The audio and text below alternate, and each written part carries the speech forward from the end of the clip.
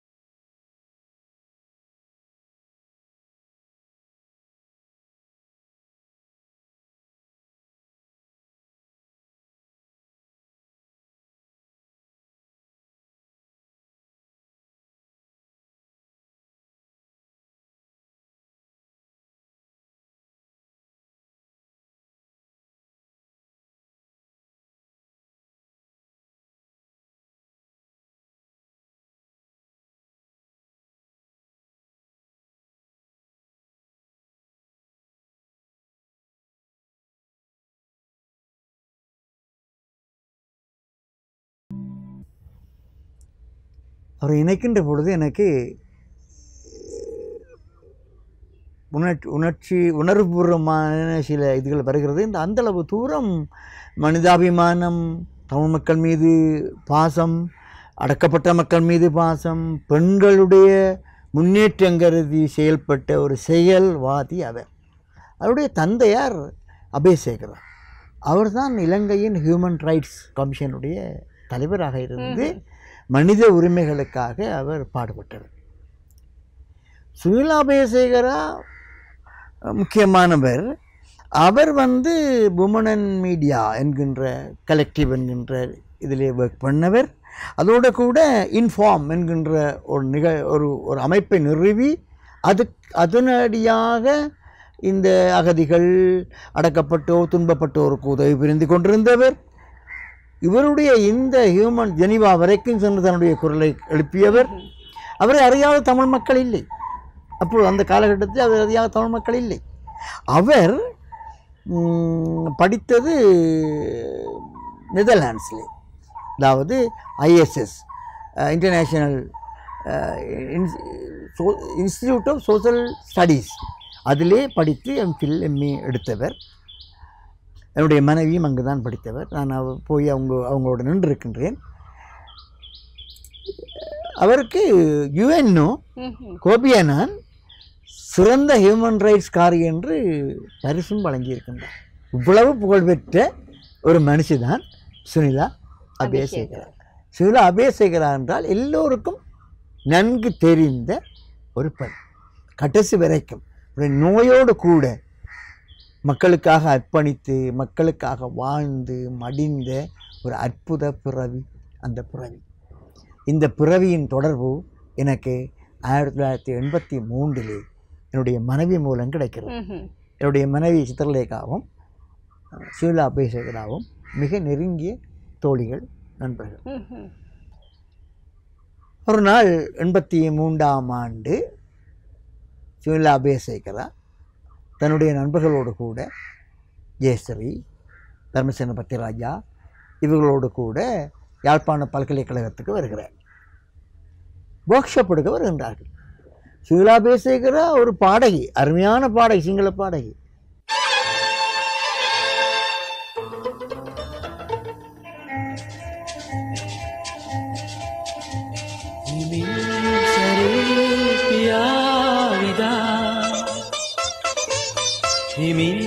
සැරේ පියාවිදා සුමුදු සයනේ සිනිඳු ඇතිරෙල්ලෙන් පලා ඇවිත් සිතුම් සියොකුන් සුමුදු සයනේ සිනිඳු ඇතිරෙල්ලෙන්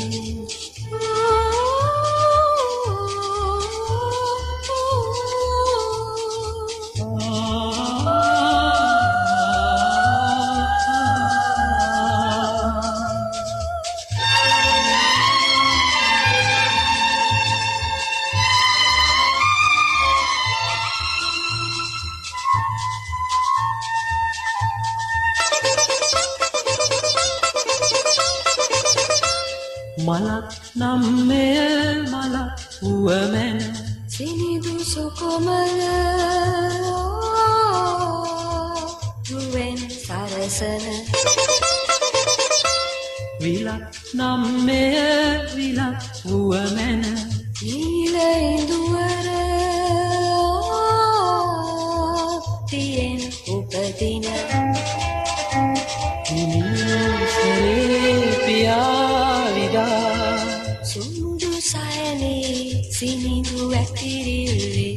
පලා ඇවිත් සිතුම් සියොතුන් සුමුදු සයනේ සිනිදු ඇතිරිල්ලේ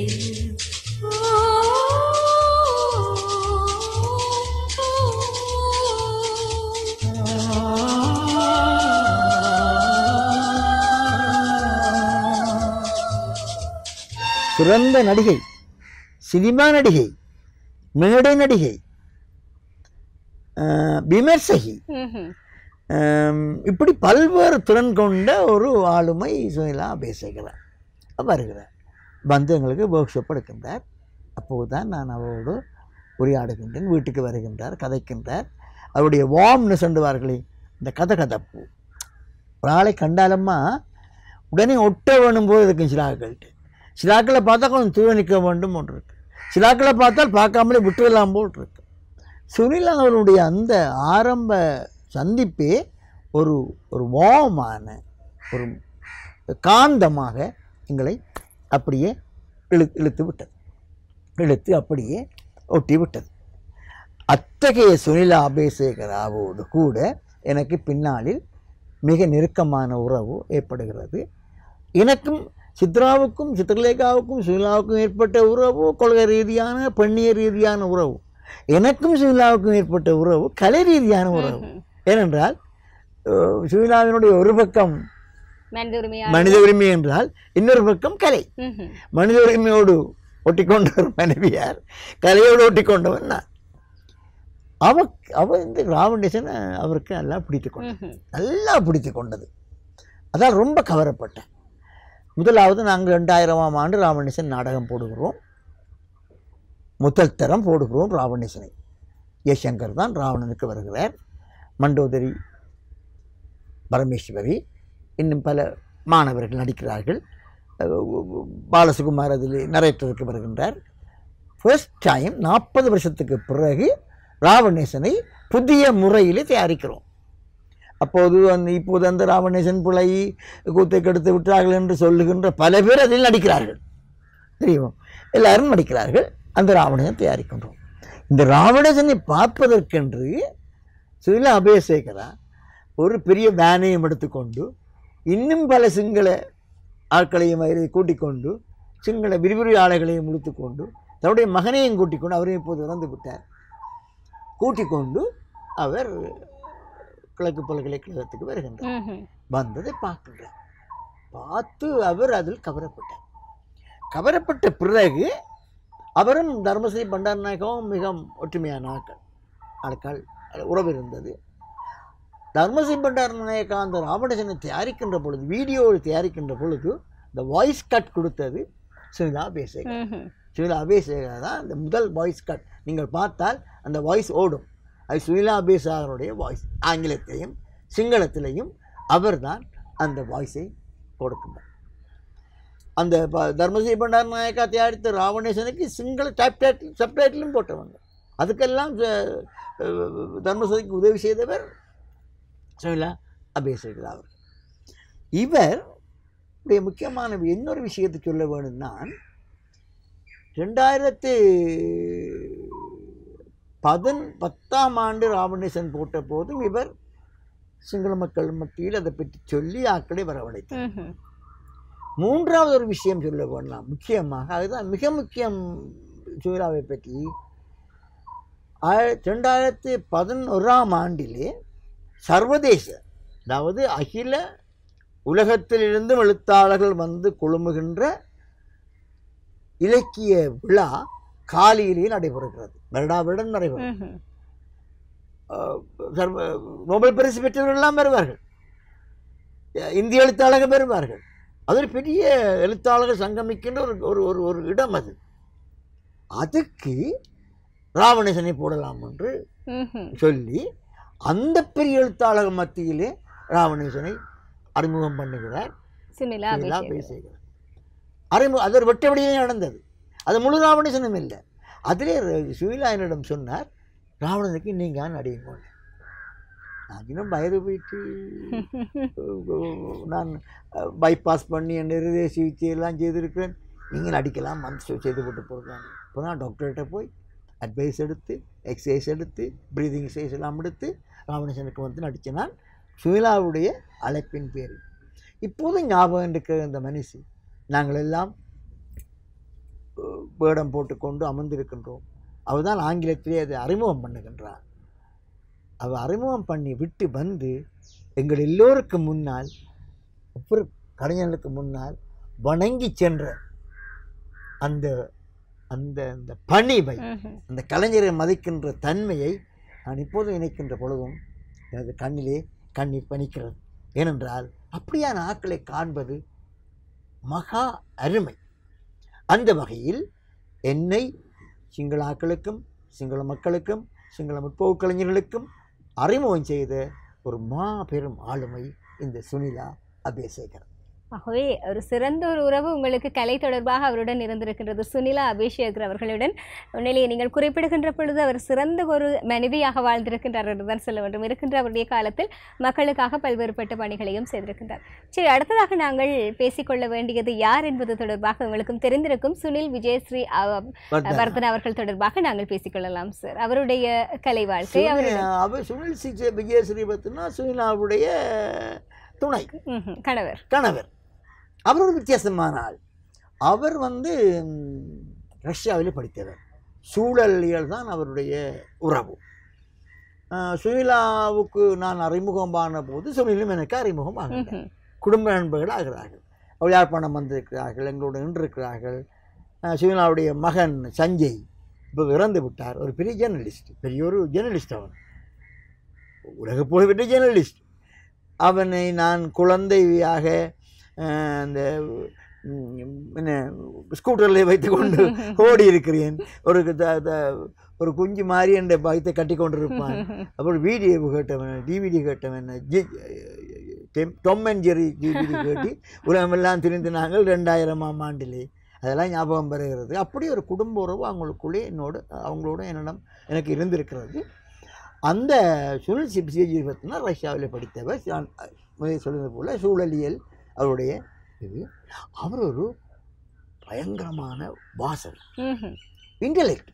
சிங்கள மக்கள் மத்தியிலே பெரிந்த ஆய்வறிவாளர்.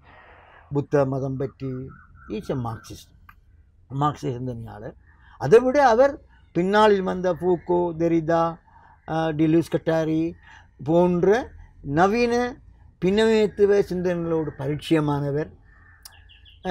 நியூ புதிய வரலாற்றுவாதம் new new historicism new Marxism இதற்கெல்லாம் அறிமுகமானவர் ஓயாது வாசிக்கின்ற ஒரு அற்புதமான ஒரு ஆள் இன்டலெக்ட். அப்படியே நாட்கள்லாம் காண்பது உண்மையிலே வாசிப்பு அபூர்வம். என்பது இன்றைக்கு சரியான கொண்டு காலத்தில் அவர்லாம் அவ்வளோ பெரிய ஆட்கள். அவரும் ஒரு நாடகக்காரர். அவர் ஒரு நாடகம் எழுத நாடகத்தின் பேரை மறந்து விட்டேன் நல்ல ஒரு பேர் அது. ஞாபகம் ஞாபகத்தில் மறந்து விட்டது. அவர் ஒரு நாடகம் எழுதினார். அது ஒரு ஒரு வித்தியாசமான நாடகம். அந்த நாடகத்துக்கு இசையமைத்தவர் ஹேமஸ்ரீ பிரேமதாசன். ஹேமஸ்ரீ பிரேமதாஸ் ஆர் என்று சொன்னால் சிங்கள உலகத்திலேயே இசையில் ஒரு ஜாம்பவான். இசையில் ஒரு பின்னாமி சிம்பானி தான் அவற்றை அவற்றை அவருடைய இது. எல்லா பல்ல இசைகளையும் சேர்த்து பெரிய சிம்போனியாக வெஸ்டர்ன் டைப் மாதிரி எழுப்புவார். அவர் தான் கூப்பிட்டார். அதுக்கு அவர் நடிக்கிறதுக்கு இசையமைக்கிறதுக்கு அப்படி ஒரு நாடக கலைஞனும் கூட. நாடக கலைஞனுக்கு அப்பால் இஸ் கிரிட்டிக்.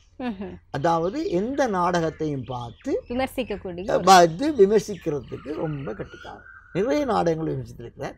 ராவணேசனை விமர்சித்திருக்கிறார். ஒரு சிறந்த விமர்சகராக எனக்கு அறிமுகம் வாங்கினார் அஹ், விஜயஸ்ரீ வத்தனர் அவரோடு நான் சேர்ந்து பல ஒர்க் ஷாப் செய்கின்ற சந்தர்ப்பம் இரண்டு மூன்று ஆண்டுகளுக்கு முன்பு கிடைத்தது. அந்த ஒர்க் ஷாப் யாருக்கு நடத்தினோம் என்று சொன்னால் கிட்டத்தட்ட நாங்கள் சகல இஸ்லாமிய தமிழ் சிங்கள மக்களுக்கு சிங்கள இளைஞர்களுக்கு நாடு பூராவும் சென்று நடத்தினோம். அவர் தான் ப்ரொஜெக்ட் கோஆர்டினேட்டராக இருந்தார். அவர் தான் ஞானமோரையும் சேர்ந்து அந்த ஒர்க் ஷாப் நடத்தினோம்.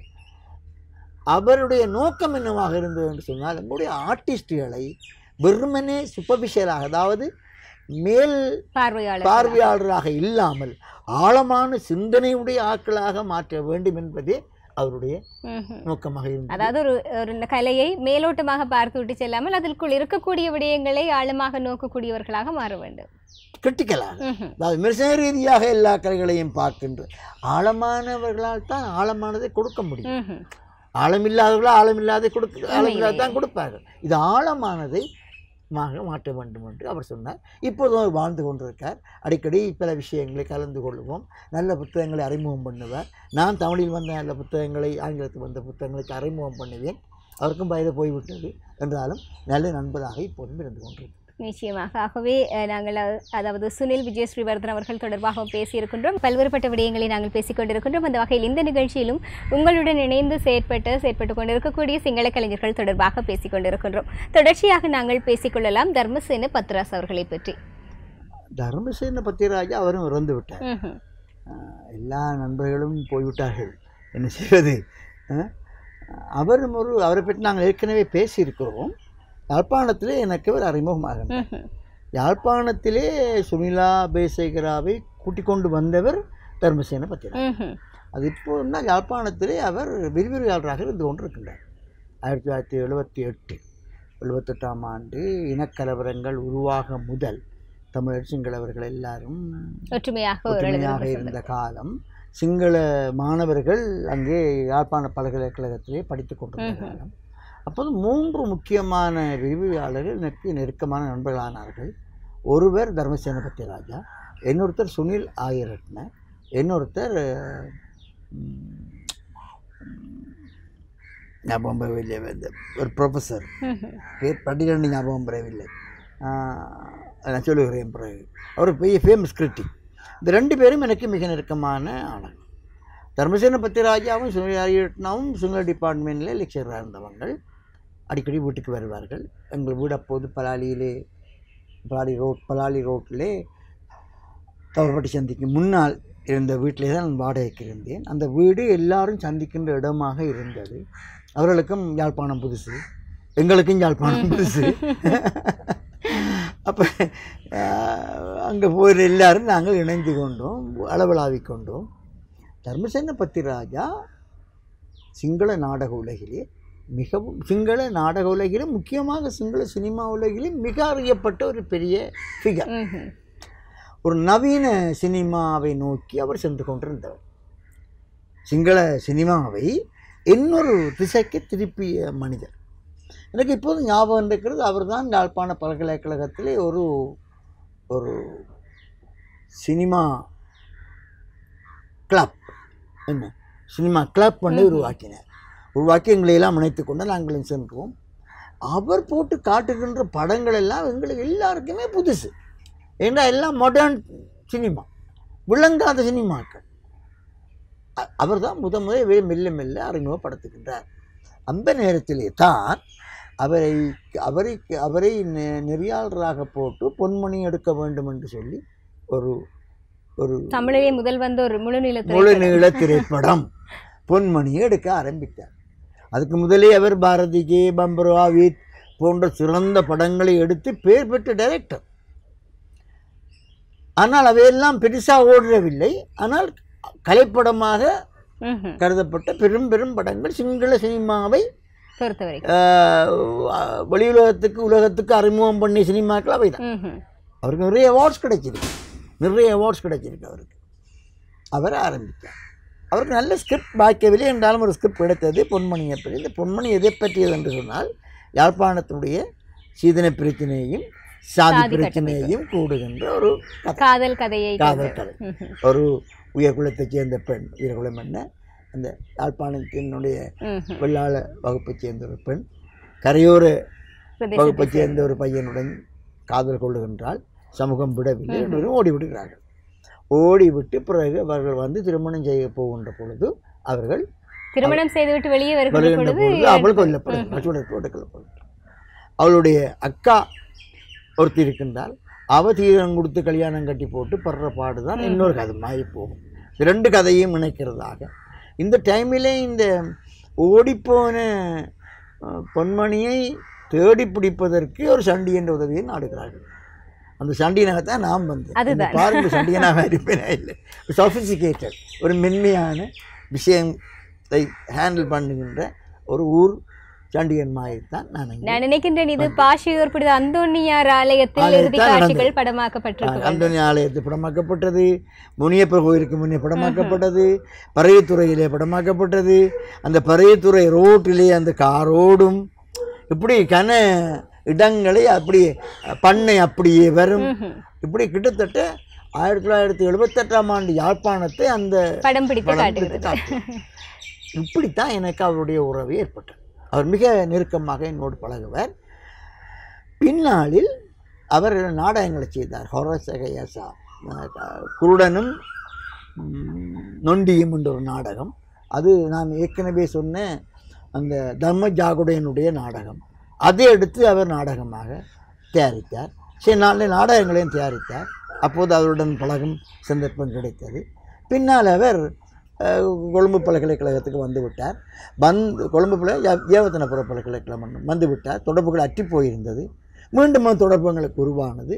உருவாகின பின்னால் அவர் பிறகு சுமதியோடு சேர்ந்து சுமதி ரெண்டு கேள்விப்பட்டிருப்பீங்க ஃபிலிம் டிரெக்டர் த தமிழில் இருக்கிறார் இங்கிலீஷ் லெக்சர் அவரோடு இணைந்து வாழ்ந்த காலத்திலே இருவரும் இணைந்து சில படங்கள் எடுத்திருக்கிறார்கள். அந்த உறவு பிறகும் தொடர்ந்தது. அவரோடு சேர்ந்து ச- ச- சில பிற காலங்களுக்கு முன்னல் இனக்கியம் இன உணர்வு இன ஒற்றுமை பற்றி சில ஒர்க் ஷாப்புகள் செய்யவும் ஆக்களோடு பழகுமான சந்தர்ப்பம் கிடைத்தது. அந்த வகையில் தர்மஸ்ரீ பத்திராஜா எனக்கு மிகுந்த நெருக்கமான நண்பரானார். அவரை போகும்போது அடிக்கடி சந்திப்போம் அவருடைய இறப்புக்கு சென்றிருக்கின்றேன் கயத்திருக்கின்றோம் அந்தப்படியான மனிதர்கள்லாம் இப்போது இல்லை என்பதுதான் துயரம். உண்மையிலேயே அதாவது இந்த நீங்கள் தர்மசின பத்ராஜ் அவர்களை பற்றி குறிப்பிடுகின்ற பொழுது அவர் சிங்கள கலையிலும் தாண்டி தமிழிலும் அந்த திரைப்படத்தையும் எடுத்து அதிலும் தமிழிலும் ஒரு புரட்சியை செய்திருக்கின்றார் என்று தான் சொல்லணும். உண்மையிலேயே அந்த திரைப்படத்தை காண்பது மிக அரிது என்று சொல்லி நினைக்கின்றேன். நான் கூட இறுதியாக நடைபெற்றிருந்த ஃபிலிம் ஃபெஸ்டிவல் நிகழ்வில் தான் அந்த திரைப்படத்தை முழுமையாக பார்க்க கிடைத்திருந்தது. பழைய கோலங்களை எல்லாம் நிச்சயமாக. அதுவும் பெரிய ஒரு திரையில் பார்க்கக்கூடிய சந்தர்ப்பம் எனக்கு வாய்த்திருந்தது. ஆகவே அவ்வாறான சந்தர்ப்பங்கள் எல்லோருக்கும் கிடைக்க வேண்டும். எல்லோருமே அவ்வாறான கலைகளை தேடி பார்க்க வேண்டும் என்பதுதான் எங்களுடைய இந்த நிகழ்ச்சி மூலமான விருப்பமாகவும் இருக்கின்றது. சரி தொடர்ச்சியாக சார் நாங்கள் அனுமா ராஜகருண் அவர்களை பற்றி பேசிக்கொள்ளலாம். ஓ அனுமா ராஜகருணா தர்மசேன பத்திராஜாவோடு இணைத்து பார்க்கக்கூடிய ஒரு பம்பளை.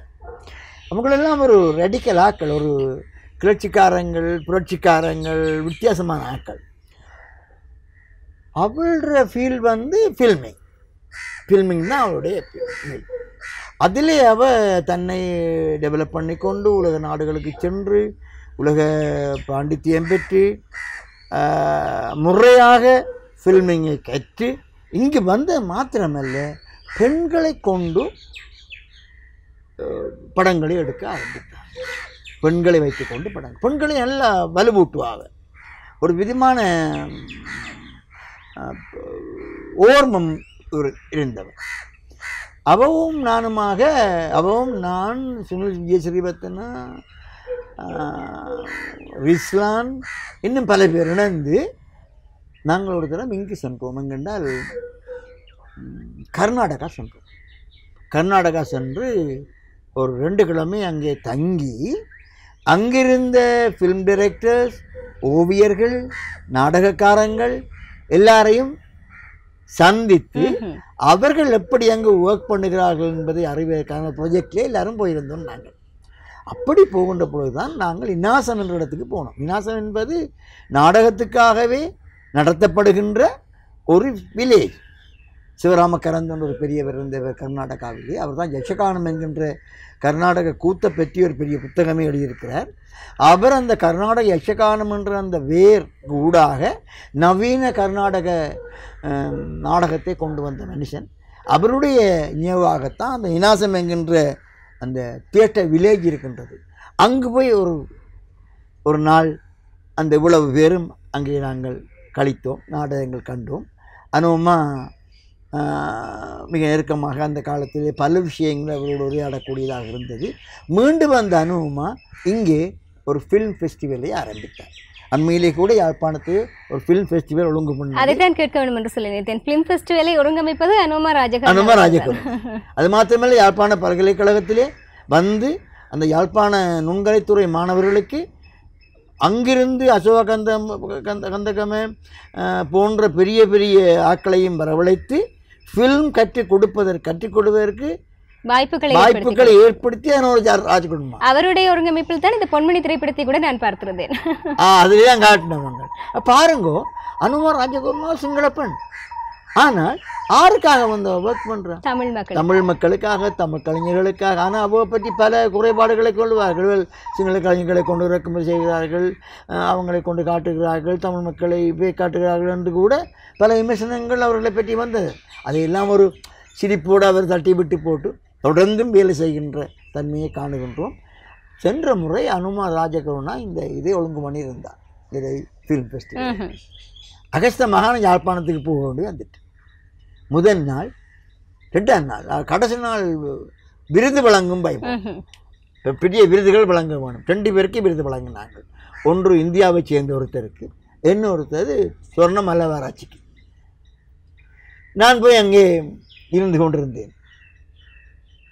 அனுமா ஓடி வந்து என்னிடம் சார் அந்த வெளிநாட்டிலிருந்து வந்த பெரியவருக்கு நீங்கள் தான் பொன்னாடை போட்டு மாலை போத்துறீங்க என்று என்னிடம் நான் ஏன் இல்லைம்மா இங்கே ஆட்கள் கன பேர் இருக்காங்க. இல்லை உங்களை விட தகுதியான ஆட்கள் இங்கே ஒருத்தருமே இல்லை. நீங்கள் தான் செய்ய வேணும் என்று எனக்கு அந்த கௌரவத்தை அளித்தார். நான் பிறகு போய் அவருக்கு அந்த அந்த அந்த பொன்னாடை போட்டு அந்த வெகுமதியை கொடுத்து என்ன சுகூற வருகிறேன் என்று சொன்னால் ஆக்களை இனங்காணுகின்ற பண்பு அவரிடம் இருக்கின்றது. அதே போல கலைஞர்களை மதிக்க தெரிகின்ற ஒரு பண்பு உண்மையிலேயே சிங்கள கலைஞர்களிடம் அதிகமாக இருந்திருக்கின்றது இல்லையா? ம். பிறகு ஒரு film festival film short film festival நடத்தினவர் ஒரு ஷார்ட் ஃபிலிம் ஃபெஸ்டிவல் என்றால் குறுந்திரைப்பட திரைப்பட விழா. மாத்திரமில்லை குறுந்திரைப்பட போட்டி. அவர்கள் எடுக்கின்ற குறுந்திரைப்படம் மிக முக்கியமானது. ஏன்னு சொன்னால் குறுந்திரைப்படத்துக்குரிய எல்லா லட்சணங்களையும் பொருந்தியதாக இருக்கும். அப்படியான ஒரு நூறு நூற்றி ஐம்பது படங்களை தெரிந்து அதற்குள்ளே செலக்ட் பண்ணி பெஸ்ட்டுக்கு பரிசு கொடுத்தவ ஒரு அஞ்சாறு வருஷத்துக்கு முந்தி. அதற்கு மத்தியஸ்தராக என்னுடைய மனைவியைத்தான் அவள் கூப்பிட்டுருந்தா. சித்திரலேகாவைத்தான் கூப்பிட்டு. சித்திரை தான் போய் அவருக்கு எல்லாம் செய்து கொடுத்து வந்தது. அது ஜட்ஜ் பண்ணாக்கள் ரெண்டு பேர் தர்மசேன பத்திராஜா அண்ட் சித்திரலேகா இந்த அளவுக்கு எங்களுடைய உறவு அது இப்போ சுனிலாவினுடைய உறவு நாடக உறவு என்றால் தர்மசேன அந்த சு- சுனில் ஆரியபத்னாவினுடைய சிறிபத்னாவுடைய உறவு ஒரு இன்டலெக்சுவல் உறவு என்று சொன்னால் தர்மசேன பத்திராஜார உறவு சினிமா உறவு என்று சொன்னால் அஹ், அனுமானுடைய உறவு ஷார்ட் ஃபிலிம் உறவு. என்று சொல்லலாம் இப்படி பல்வேறு விதமான உறவுகளை ஏற்படுத்தி கொண்ட நண்பர்கள் எனக்கு இருக்கிறார்கள் என்பதை இட்டு எனக்கு பெருத்த மகிழ்ச்சி உண்மையிலேயே. அது நாங்கள் நான் நினைக்கின்ற சிங்கள கலைஞர்களை பற்றி பேச ஆரம்பித்து தமிழ் கலைகள் தொடர்பாகவும் பல்வேறுபட்ட விடயங்களை அதற்கூடாக நாங்கள் பேசிக் கொண்டிருக்கின்றோம் என்று சொல்லி இந்த வகையில் உண்மையிலேயே நீங்கள் குறிப்பிட்டிருந்த ஒரு விடயம் நானும் அனுபவித்த ஒரு விடயம் அனுமர் ராஜகரன் அவர்களுடைய ஒருங்கிணைப்பில் கடந்த நான் நினைக்கின்றேன் மூன்று வருடங்களாக இந்த ஃபிலிம் ஃபெஸ்டிவல் நடைபெற்றுக் கொண்டிருக்கின்றது. அதில் அநேக மாணவர்கள் இன்னும் பங்கு பெற்று அதில் அதில் நான் நினைக்கின்றேன் உலகளாவிய ரீதியில் இருக்கக்கூடிய திரைப்படங்கள் எவ்வாறாக ஒரு உலகளவிலும் திரைப்படங்கள் எடுக்கப்படுகின்றன அதில் இருக்கக்கூடிய கலைஞர்கள் தொடர்பாக எல்லாம் பல்வேறுபட்ட விடயங்கள் இருக்கின்றது. அதில் எங்களுடைய மக்களும் பயன்பெற வேண்டும். அதை நாங்கள் இந்த நேரத்தில் வலியுறுத்தி கொண்டு அடுத்ததாக நாங்கள் லுபேகா அவர்களை பற்றி பேசிக்கொள்ளலாம் சார் ஆ ருபேக்கா சித்திரசேனாவுடைய மூத்த மகள். ஆ தெரியுமா? கேள்விப்பட்டிருக்கீங்களா அவரை பற்றி? இஸ் வெரி குட் டான்சர் அதாவது சித்திரசேனா ஒரு முக்கியமான டான்ஸர் இலங்கையிலே. இலங்கை டான்ஸ் என்று சொல்லுகின்ற பொழுது கண்டியன் டான்ஸ் தானே காட்டுவாங்க. இன்னும் கூத்தை நாங்கள் காட்டத் தொடங்கவில்லை. தமிழர்களே இன்னும் கூத்தை காட்டத் தொடங்கவில்லை. அப்படி மற்றவர்கள் காட்டுவார்கள் அப்போ சித்திரசேனா அந்த டான்ஸில் மரபில் வந்து அந்த சிங்கள நாடக மரபை பல்லையாக மாற்றி எடுத்து அகில உலகம் பூராவும் சொன்- கொண்டு சென்ற கலை தூதுவர் தான் சித்திரசேனா.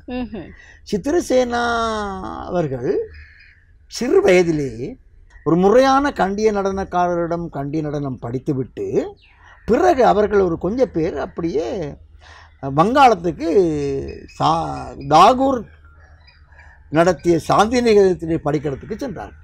அங்கே போய்த்தான் அவர் இந்த முறையான நடனம் பழகினவர். அதுக்கு பிறகு வந்து கதகளி பழகினவர். முக்கியமான ஆக்கள்கிட்ட பழகினவர். பழகி போட்டு இங்கு வந்து சிங்கள நடனத்தை இன்னொரு திசைக்கு எடுத்து சென்றவர் அவர். அவருடைய அந்த நாடகங்களில் முக்கியமானது கரதியை. கரதிய என்கின்ற ஒரு பலே. நான் எழுபத் எஸ் அறுபத்தி ரெண்டாம் ஆண்டு அந்த பலையை பார்த்துருக்கேன் அப்போ அவருடைய மனைவி யங் அவரும் யங் எனக்கும் அப்போது வயது இருபத்தொன்று. அவங்களுக்கு வயது என்னை விட பத்து பதினஞ்சு வயது கூட இருப்பார்கள். அது என்னை வேறு உலகத்துக்கு அழைத்து சென்று விட்டது. அந்த பாடல் இப்போதும் ஞாபகம் வருது. ஹொய்யா ஹொய்யா ஹொய்யா ஹொய் ஹொய்யா ஹொய்யா. அந்த பாட்டோடு தான் அந்த மூமெண்ட்ஸ் ஆரம்பமாகும். காஸ்டியூம் எல்லாமே வித்தியாசம். கிட்டத்தட்ட அவங்களுடைய டான்ஸ் எதை போல் இருக்கும்னு சொன்னால் ராம் கோபால் அந்த வடநாட்டு நடனம் மாதிரி இருக்கும். அதிகமாக அவர் எதை யூஸ் பண்ணுவார் என்று சொன்னால் ரவிசங்கருடைய சித்தாரை யூஸ் பண்ணுவார். ரவிசங்கர் பெரிய பெரிய ஆட்கள் எடுத்தான் அவங்க செய்வாங்க. பார்த்தா மியூசிக் ரொம்ப ரிச்சாக இருக்கும். அவருடைய பல நாடகங்கள் பார்த்துருக்கிறேன். அவர் நான் எண்பத்தி மூன்றாம் ஆண்டு கொழும்பிலே வாழ்கின்ற சந்தர்ப்பம் ஏற்பட்டது கொஞ்ச நாள். நான் மகனையும் கூட்டிக் கொண்டு அங்கே சென்று விட்டேன். இப்போ சுயில் அபயசேகரா சொன்னால் உங்களோட மகன் நாங்கள் சித்திரசேட்டை அனுப்புவோமோன்னு நான் ரொம்ப ஆச்சரியப்பட்டு போனேன் அனுப்புவோம்னு சொன்னேன். உடனே என்னுடைய மகன் சித்தார்த்தனை அப்போ அவருக்கு வயது பதினாலு பதினஞ்சு வயது இருக்கும். அங்கே அனுப்பினேன். இவர்கள் முப்பது நாற்பது சிங்கள பிள்ளைகள் ஆண்களும் பெண்களும். சித்தார்த்தன் மாத்திரம்தான் ஒரே ஒரு அவர்களிடம் அவன் அந்த நடனத்தை பழக ஆரம்பித்தான். ஒவ்வொரு நாளும் அவன் வருகின்ற பொழுது சுற்றும்பாக வருவான். அவ்வளவு தூரம் அந்த கசைக்கு பிழிந்து அனுப்புவார்கள். ட்ரைனிங் அப்படி ட்ரைனிங் அந்த ட்ரைனிங் வராமல் அந்த ஜம்ப்ஸுகளும் அந்த. அசைவுகளும் அந்த ஆட்டங்களும் வராது. அவள் தாஜி என்று ஒருத்தி பொம் பொம்பளை இருக்காள். சித்திரசேனாவுடைய பேத்தி இப்போ இருக்கிறாள். இளம் வயது. அவள் ஆடுவாள். ராஜென்று போட்டு பாருங்கள் இந்த இதில் யூடியூப்பில் வரும். அது நாட்டம். அவளோட உடம்பே ஆடும் ஒரு பெரிய வித்தியாசமான நர்த்தகி அவள். ஒரு தலைமுறை வளருதம்மா. சித்திரசேனா பிள்ளைகள் பிள்ளைகள. பிள்ளைகள் ஒரு பெரிய பாரம்பரியம் அவங்களுக்கால வளர்ந்து வர்றதை காண முடியும் இப்படி வந்த அறிமுகமான ஒரு பெண் தான் உபேகா. உபேகாவுடைய டான்ஸை நீங்கள் பார்த்தீங்கன்னா அசந்திருவீங்க. நல்ல ஆச்சாரமான உடல் நல்ல அழகான உடலமைப்பு.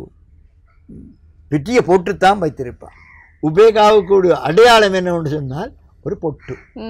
பொட்டு யாருக்கு அடையாளம்? தமிழ் மக்களுக்கு. இவன் அந்த பொட்டை வைத்துக்கொண்டு தான் போவான் எல்லா இடம் பெரிய பொட்டு சின்ன பொட்டு இல்லை.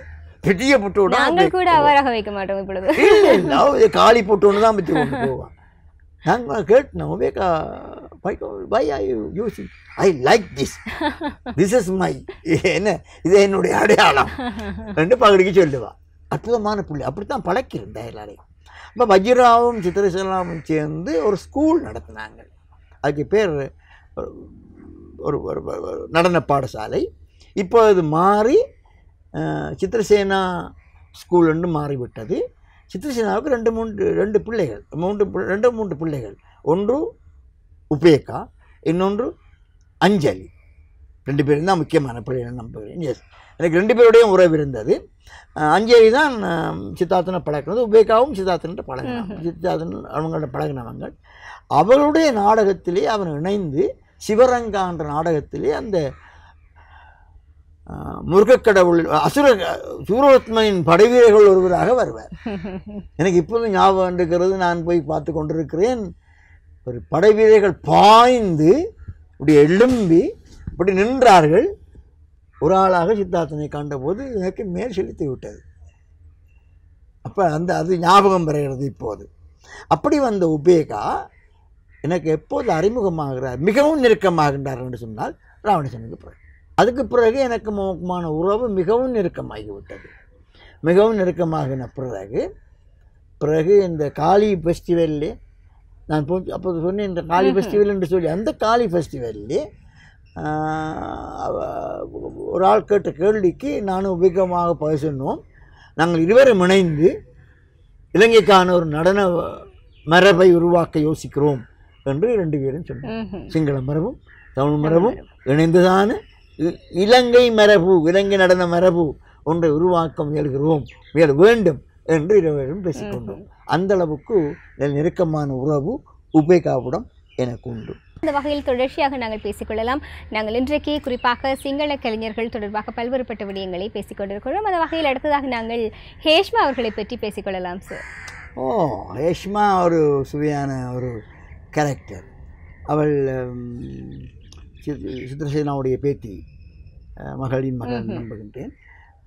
ஹேஷ்மா தான் அங்கே உபேகாவுக்கு பிறகு அஞ்சலிக்கு பிறகு அந்த சித்ரசேனா ஃபவுண்டேஷனை கொண்டு நடத்துகிற லைஃப் வயர் ஹேஷ்மா.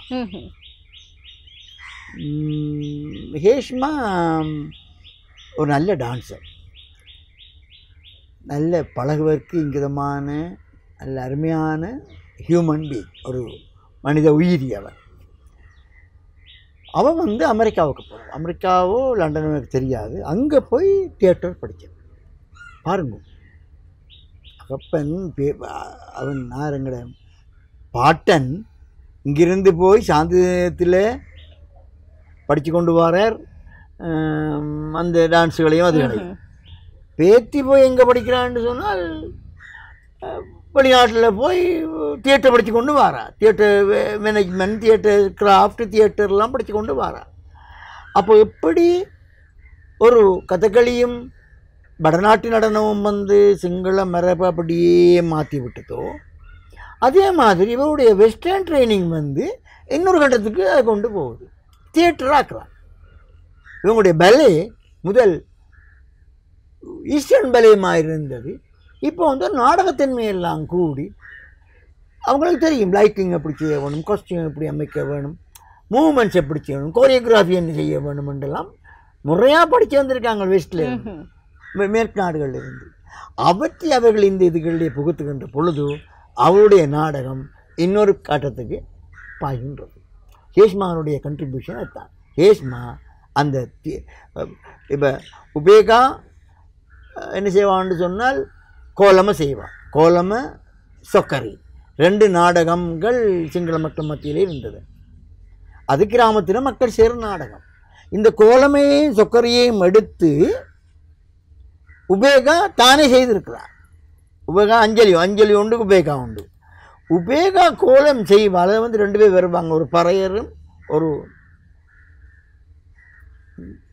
நொஞ்சி நோன் நோனா. ஒரு நோனாவும் வருவாங்க. அந்த நோனா எல்லாம் மாஸ் தான் அந்த நோனாட கை இப்படி ஆடும் கிடக்கும் பாக்கும் சிரிக்கும். இதெல்லாம் உபேகா செய்யும். நீங்கள் அந்த இருக்கு டி- யூடியூப்பில் அழகாக இருக்கும். அதே மாதிரி அவள் சொக்கரையும் செய்வாள். சொக்கரிலையும் அந்த இருப்பாளவள் நாடகமும் செய்வாள். எல்லாம் எடுத்து கொஞ்சம் ஸ்டைலைஸ்ட் ஆக்கி அழகாக செய்கிற குணம் ஆற்று வந்து உபேகாட்டு இருந்தது. ஹேஷ்மார் நாடகங்கள் என்ன பார்க்கலாம்னு சொன்னால் வெஸ்டர்ன் ஸ்டைலில் காணலாம். அதில் கோரியோகிராஃபி எல்லாரும் சேர்றது பொசிஷன்ஸ் அது இது. கிங்கிணி கோலம் என்ற ஒரு நாடகம் இருக்கின்றது. ஒரு ஒரு கிங்கிணி கோலம். கோலம் தான் கோலம்ண்டா என்ன? கோலம்ண்டா பல்வேறு கோலங்கள். கோலம் தான் எங்கட வசந்தன் வசந்த் வசந்தன்டா என்ன? வசந்த ராசா வருவார். பல்வேறு ஆக்களும் வந்து பல்வேறு நடனங்களையும் ஆடி காட்டுவார்கள் இப்போ எங்கள்கிட்ட வசந்தன் இருக்குன்னு சொன்னால் சிங்கள ஆக்கள்கிட்ட கோலம் இருக்குது. கோலத்திலையும் பல்வேறு நடனங்களை ஆடி காட்டுவார்கள் அந்த பல்வேறு நடனங்களையும் இணைத்த ஒரு ப்ரோக்ராம் தான் கிங்கிணி கோலமை கிங்கிணி கோலமை என் மகன் நடித்தது அப்போ அப்போ அப்போ தான் எங்களுங்களை உறவுகள் ஏற்படுகின்றது. அப்போ அதை அவள் வித்தியாசமாக இவள் ஆரங்கிடம் ஹேஷ்மா செய்து காட்டினார். ஹேஷ்மாவை ஒரு நாடகம் செய்து தரும்படி அண்மையில் கேட்டார்கள். ஒரு ரெண்டு மூன்று வருடங்களுக்கு முதல் கேட்டபோது எப்படி நாடகம் செய்ய வேண்டும் என்று சொன்னால் கிழக்கு பல்கலைக்கழக மாணவர்களை கொண்டு அல்லது எனது அரங்காய்வு கூட மாணவர்களை இணைத்து தமிழ் மக்களும் சிங்கள மக்களும் இணைத்து அந்த நாடகம் இருக்க வேணும் அது நாட்டிய நாடகமாக இருக்க வேண்டும் என்று கேஷ்மாவை கேட்டார். கேஷ்மாவுக்கு அது ஒரு சேலஞ்சாக போயிட்டு. என்னிடம் ஃபோன் பண்ணி கேட்டான். எப்படி ஒரு சேலஞ்சு எடுத்துக்கொள்ளலான்னு சொல்லி. எடுத்துக்கொள்ளுங்க நான் ஹெல்ப் பண்ணுறேன்னு சொன்னேன். அப்படியே வந்து இறங்கி விட்டார்கள். அவர்களை அப்படியே கொண்டு நான் சுவாமி விழாந்த அழகிய கற்கை நிறுவனத்தில் உள்ள டைரக்டர் பிரேம்குமாருக்கு அறிமுகப்படுத்தினார் அவர் பிரேம்குமார் டைரக்டராக இருக்கார் டிரெக்டராக இருக்கார். அவருக்கு அறிமுகப்படுத்தினார் அவர் சகல சுதந்திரம் எங்களுக்கு தந்து செய்யுங்கள்னு சொன்னார் செய்தப்பட்ட பிறகு டான்ஸ் பிள்ளைகள்லாம் வெளில வந்து சேர்ந்து கொண்டார்கள் சிலர் வருவதற்கு தயங்கினார்கள். ரெண்டு காரணத்துக்காக தயங்கினார்கள். ஒன்று பரதநாட்டியம் படித்த கால்கள் வேறு நாடகங்கள் ஆடலாமா கண்டிகை நடனம் ஆடலாமா அப்படியா இப்படியா என்று உண்டு பிறகு சிங்களாக்கள் பழக்கிறார்களே என்னத்துக்கு இதுக்கு போவான் என்று சொல்லி என்றாக்கள் மீதி பிள்ளைகள் வந்தார்கள். அந்த மீதி பிள்ளைகளை வைத்து அவர் அந்த நாடகத்தை ஆரம்பித்தார். என்னையும் கூப்பிட்டார். ஃபைனல் ரிஹர்சலுக்கும் என்னை கூப்பிட்டுருந்தார். யேஷ்மா நான் அங்கே போயிருந்தேன். ஒரு மூணு நாள் அங்கே இந்த பிள்ளைகள் பத்து பன்னெண்டு பேர் தங்கினார்கள். அந்த பிள்ளைகள் சொன்னார்கள் இப்போதுதான் சார் நாங்கள் உறவுகளை காண்கின்றோம்.